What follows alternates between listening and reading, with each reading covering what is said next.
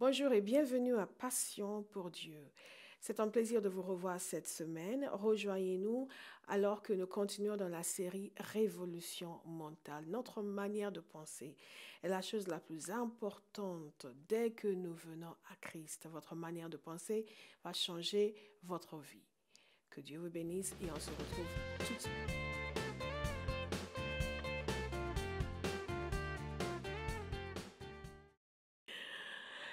Dans Colossiens chapitre 1 au verset 21, il nous a dit ceci, et vous qui autrefois étiez autrefois étrangers et ennemis par vos pensées et par vos mauvaises œuvres, il vous a maintenant réconciliés par sa mort dans le corps de sa chair. Dans Éphésiens chapitre 2, il nous parlait de ceux qui accomplissent les volontés de la chair et de nos pensées. Et nous voyons quelque chose de très important dans la parole de Dieu, et ce, dans la suite de cet enseignement sur la révolution mentale, c'est le fait que nos pensées ont une importance capitale. Ce qui se passe à l'intérieur de votre a une importance capitale pour ce qui est de votre vie et de l'accomplissement de la volonté de Dieu dans votre vie. Notre texte principal que nous utilisons dans cette série, pour ceux qui ont commencé maintenant à nous suivre, et si c'est votre cas, je vous encourage à aller sur notre site et à voir toute la série que nous avons faite. Donc, le texte que nous utilisons, c'est Romains 12. Romains 12 au verset 2, où nous sommes invités à ne pas ressembler aux gens de notre génération, à ne pas nous modeler après, comme dit la version de Summer, les gens de notre siècle, mais à être différents et à nous laisser transformer Dieu veut nous transformer. Cette transformation se produit avec le changement de notre manière de penser. Donc ici aussi, nous voyons qu'il était une fois, nous étions ennemis par nos pensées. C'est très, très fort. Nous avons vu aussi le fait que lorsque nous exerçons nos pensées sur des choses charnelles, nous devenons ennemis de Dieu dans nos pensées. Donc personne, je suis sûre, ne veut être ennemi de Dieu de par ses pensées. Non pas ennemi parce que vous le haïssez, mais ennemi parce que vos pensées sont totalement opposées aux siennes.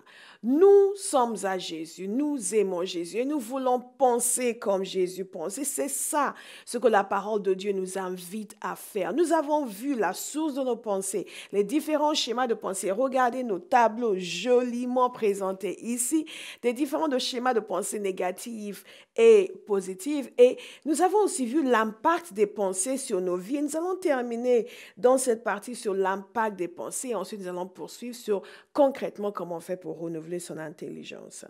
Et, il y a aussi un passage qui nous parle du fait que dans 2 Timothée, l'apôtre Paul écrit à Timothée, il lui parle des gens qui se sont laissés euh, prendre au piège par le diable et, et il parle de la nécessité de les aider à revenir à leur bon sens. Et il y a deux, une chose, une chose particulièrement qui me frappe ici, c'est que nous pouvons être ennemis de Dieu par nos pensées et nous pouvons être pris au piège par le diable par nos pensées. Nous voulons l'inverse. Nous voulons être amis de Dieu par nos pensées et nous voulons être libres des pièges du diable par nos pensées. Et ces gens dont il est question ici dans 2 Timothée 2, pour ceux qui veulent la référence du verset 25 au verset 26, ces gens dont il est question ici, ce sont des gens qui sont à l'intérieur de l'Église. On peut être à l'intérieur de l'Église, on peut aimer Jésus, on peut être né de nouveau, mais être prise au piège par le diable et être, et, être soumis à sa volonté. C'est très fort et c'est un vrai avertissement pour chacun de nous. Nous devons veiller à ce que nos pensées soient en harmonie avec la pensée de Dieu. Nous voulons être que nos pensées soient captives à la parole de Dieu et non pas captives à Satan. Nous voulons que nos pensées soient en accord avec les pensées de Dieu. Quel est l'impact donc de nos pensées sur nos vies? Nos pensées ont un impact sur la qualité de notre vie, sur nos relations avec Dieu, avec les autres, avec nous-mêmes, sur l'accomplissement ou non de notre destinée. Mais il y a aussi un autre impact qui est très très important, c'est que nos pensées ont un impact sur l'œuvre de Dieu. Nos pensées ont un impact sur l'accomplissement de la volonté de Dieu dans notre génération. Nos pensées ont un impact sur l'extension du royaume de Dieu sur la terre. Vous allez me dire, quoi? Moi? Moi, je ne suis rien. Comment est-ce que mes pensées peuvent avoir un impact sur l'œuvre de Dieu?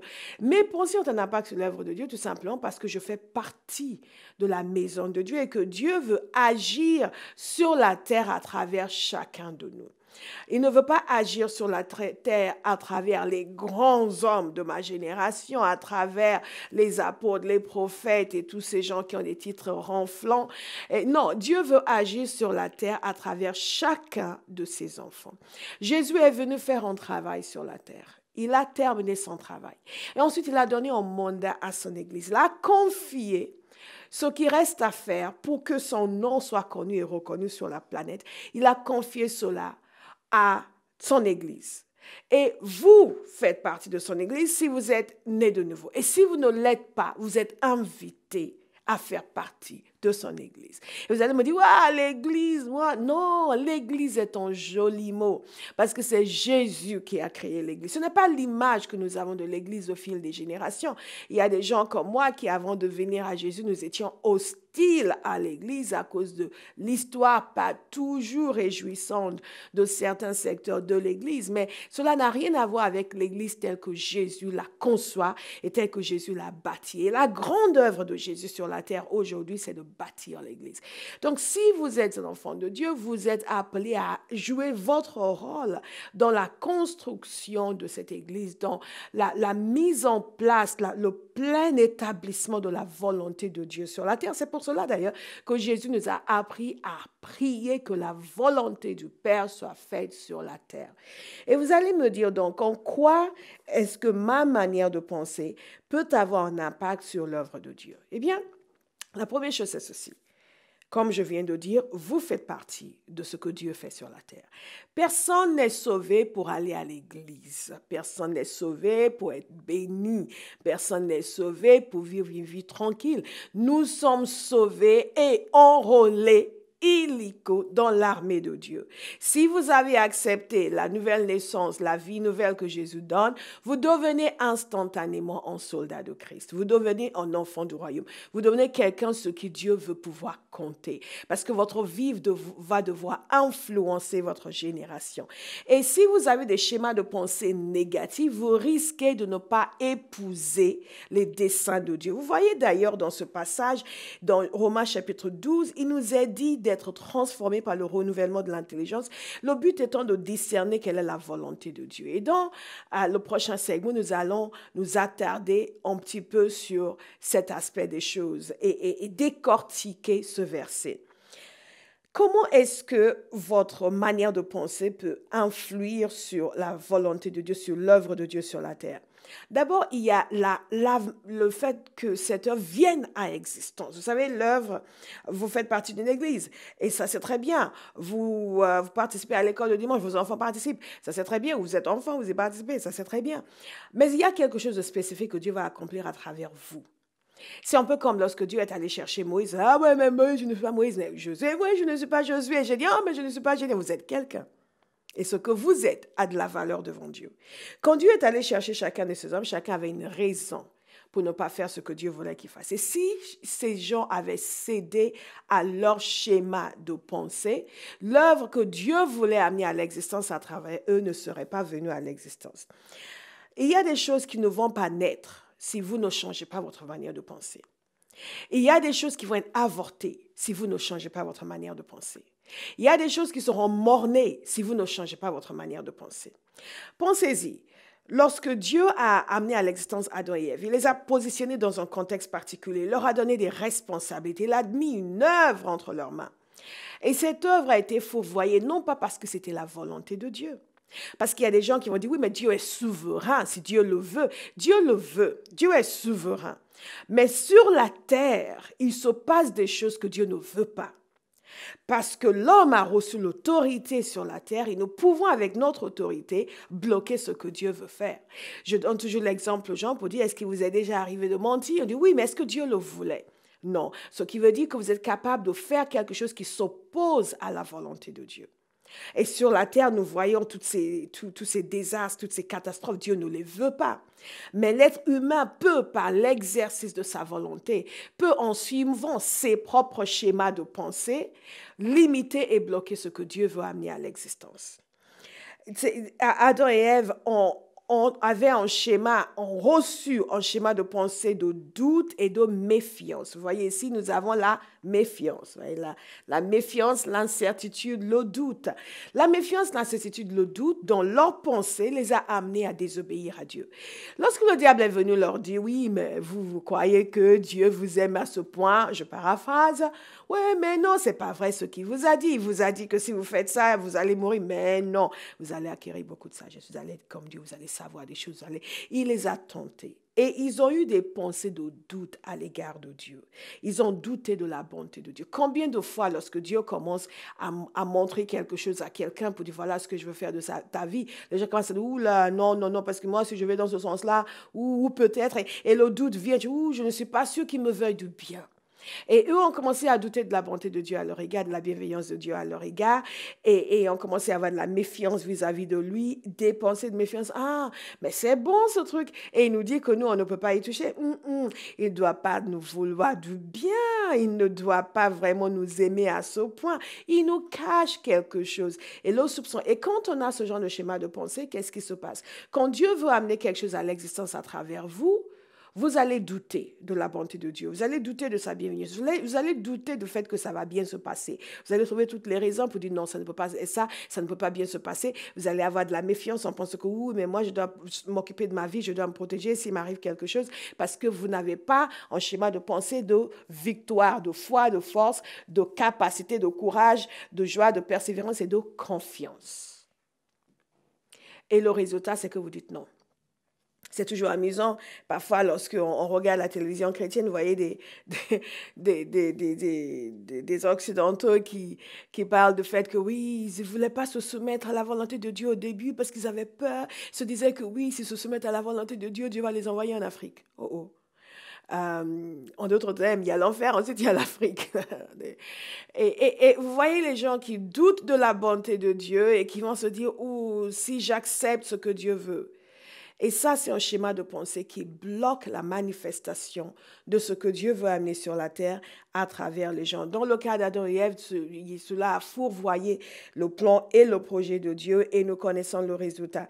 Et il y a par exemple, j'ai évoqué le cas de Jérémie, le cas de Moïse, le cas de Gédéon précédemment. Certains connaissent toutes ces personnes. Si vous ne les connaissez pas, allez chercher. Ce sont des histoires extraordinaires. Vous allez aimer. Et surtout, vous allez apprendre quelque chose. J'ai évoqué le cas de ces personnes qui avaient un schéma d'infériorité, un sentiment d'insuffisance, de ne pas être à la hauteur de la tâche. Combien de gens aujourd'hui n'acceptent pas l'appel de Dieu parce qu'ils considèrent qu'ils ne sont pas à la hauteur de la tâche. Combien de gens aujourd'hui Moi, je sais de quoi je parle parce que euh, on peut avoir une certaine image de soi-même et, je vous encourage encore à, aller voir, aller écouter les, les, les, séries audio qui sont sur notre site parce que je donne beaucoup d'exemples, beaucoup de détails, beaucoup d'exemples même personnels par rapport à l'œuvre de Dieu il n'y a pas si longtemps de cela, nous sommes revenus de notre week-end de guérison. Et en arrivant à la maison, j'ai déposé, j'avais mon assistante avec moi, j'ai déposé mon sac. J'étais tellement content de ce que Dieu a fait. Et j'ai dit, This is what I was made for.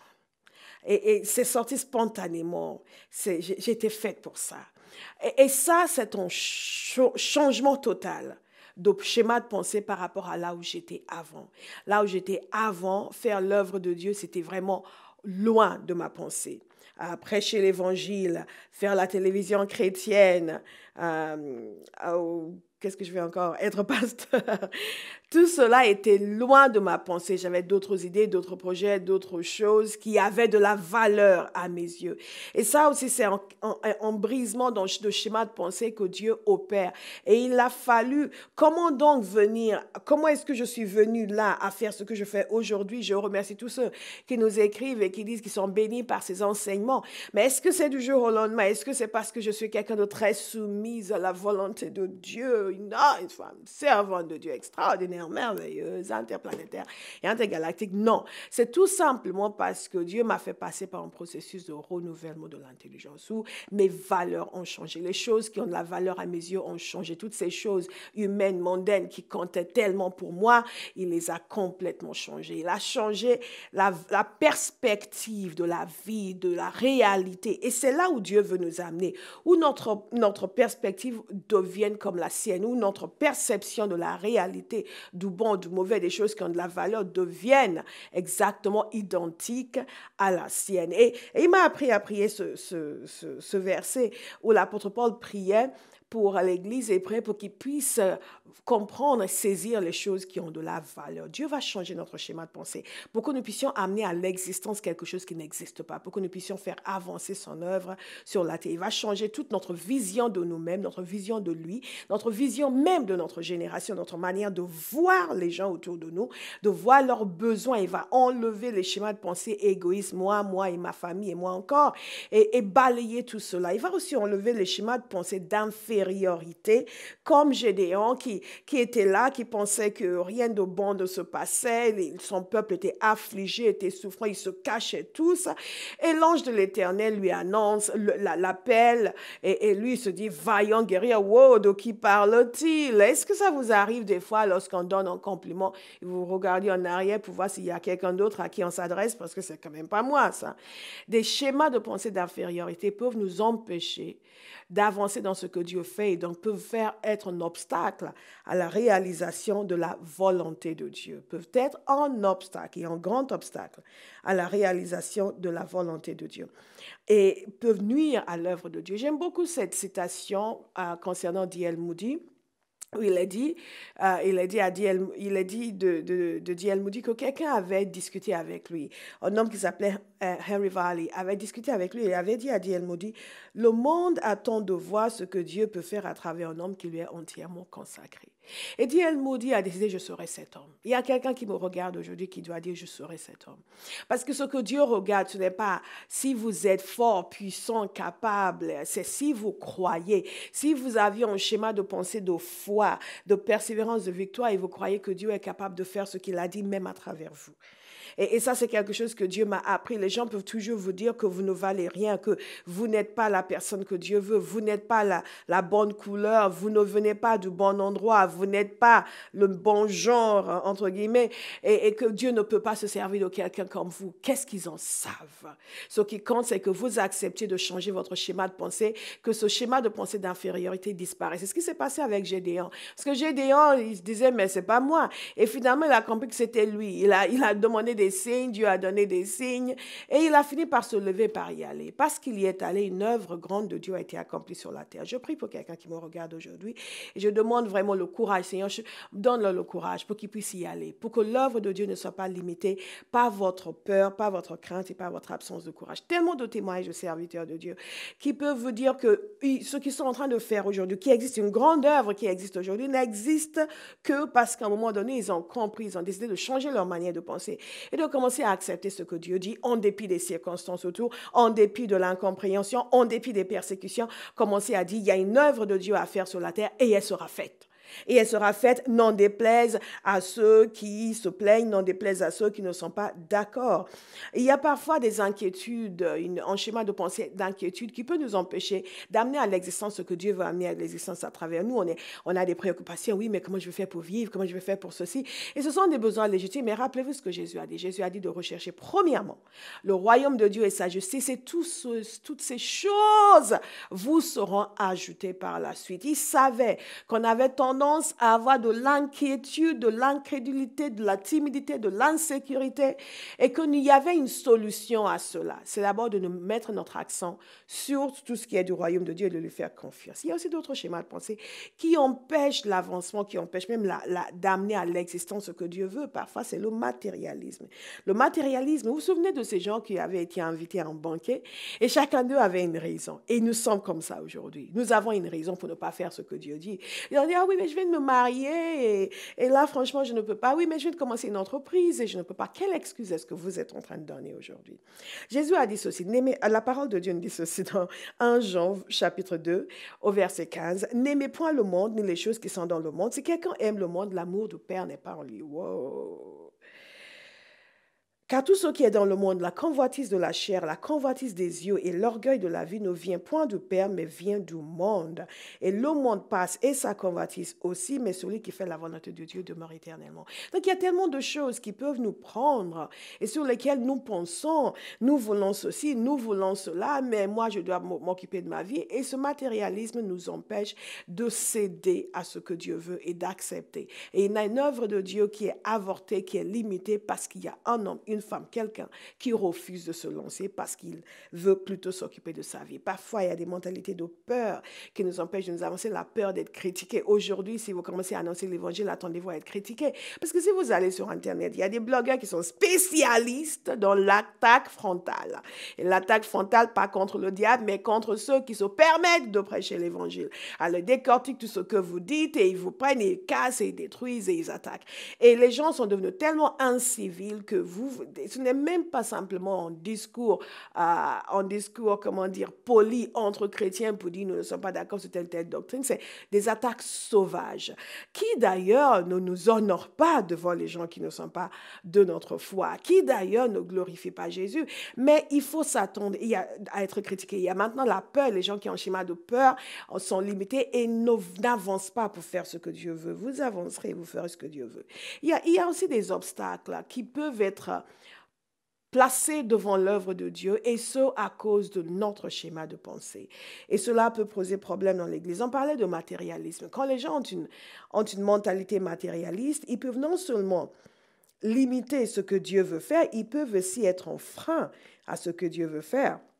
Il y a des gens qui sont matérialistes, qui refusent de participer pour financer l'œuvre de Dieu, par exemple, ils en ont, ils ont été bénis par le Seigneur, mais tout ce qu'ils ont, c'est pour eux. Oui, mais ah, attends, l'Église, qu'est-ce que l'Église va faire avec ça? Et qu'est-ce que vous allez faire avec ça? Si, si vous pouviez vous en servir, l'Église aussi peut s'en servir. Si vous avez, comment vous seul, vous pensez que vous allez garder autant d'argent dans votre compte bancaire et l'Église tout entière n'en aura pas besoin? Non, le matérialisme limite l'avancée de l'œuvre de Dieu. Il y a tellement de choses que l'Église devrait pouvoir faire. Nous devons inonder notre génération de d'émissions télévisées, de CD, pouvoir les donner gratuitement aux gens qui n'ont pas les moyens de les acheter. Oh, mais, et pour pouvoir faire ça, il faut qu'il y ait des enfants de Dieu qui soient libérés d'une mentalité perverse, une mentalité matérialiste qui veulent tout accaparer et tout garder pour eux, qui financent la prédication de l'évangile. Parce que malheureusement, la prédication de l'évangile n'est pas gratuite, l'évangile, elle, si. Si vous voulez aller à la télévision, aller dans le monde entier, il faut prendre un avion pour aller quelque part et quelqu'un doit financer. Et Dieu a établi des gens avec le don de donner et ces personnes souvent sont matérialistes. Et leur schéma de pensée fait quoi? Fait obstacle à l'avancement de l'œuvre de Dieu. Je crois que vous ne serez pas de cela Parfois, le matérialisme aussi, c'est des bergers qui sont avares, des bergers qui vont prendre l'argent des brebis au lieu d'utiliser l'argent pour faire avancer l'œuvre de Dieu. C'est des gens qui vont penser que le, ministère est une source de gain. L'apôtre Paul, exemplaire, exemplaire dans sa vie, un exemple pour chacun de nous. Et pour lui, la piété n'est pas du tout source de gain. Pour Pierre, la piété n'est pas du tout source de gain. Et quand vous voyez tous ces serviteurs de Dieu dans la parole de Dieu, pour eux, la piété et l'œuvre du ministère n'est pas du tout source de gain. Et c'est important que cette sainteté, cette pureté dans les motivations revienne dans l'Église. Si vous êtes un berger, que vous avez une mentalité de cupidité, vous allez finir par voler l'argent du Seigneur. Et vous savez que c'est la malédiction pour ceux qui volent l'argent du Seigneur et ceux qui veulent l'argent du brebis. Toutes ces choses, ces schémas de pensée négatifs font obstacle à l'avancement de l'œuvre de Dieu sur la terre. Vous commencez à voir à quel point votre manière de penser est importante. Comment est-ce qu'on peut aussi faire obstacle en s'opposant à la vision. Nous avons tellement de, gens qui, qui, qui, ont un schéma de pensée de défaite, d'incrédulité. Et dès qu'il y a un projet important que l'on doit accomplir pour l'océan, sont les premiers à dire c'est pas possible.